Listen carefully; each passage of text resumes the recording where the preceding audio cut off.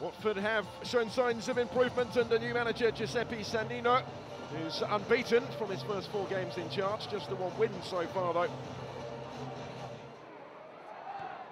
the corner in towards Kaspars Gorkss. The early goal goes the way of the Royals. Just five minutes played and Reading in front already. It's the second of the season for the Latvian centre-back.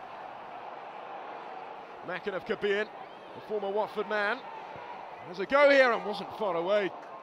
Kudu taking over, in fact lets it run here for Hector Bellerin. He'll flight it in, it's a real chance for Troy Deeney. And he's put his header straight at McCarthy. Get Forestieri in behind. And taking over is St. Lewis McGugan.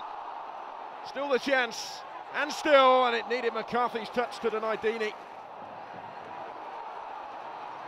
Really piling the pressure on now. Troy Deeney's forced wide. It's a dangerous ball in though.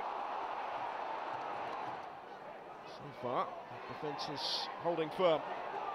Looking in to win it well was uh, Fabbrini though. And pulled back by Doyley. Again, Deeney on the end of the chance. They've had to soak up so much pressure in this second half of Reading, but they are almost there.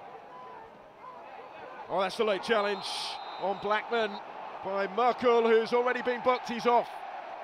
It's a straight red anyway, I think, from Keith Stroud.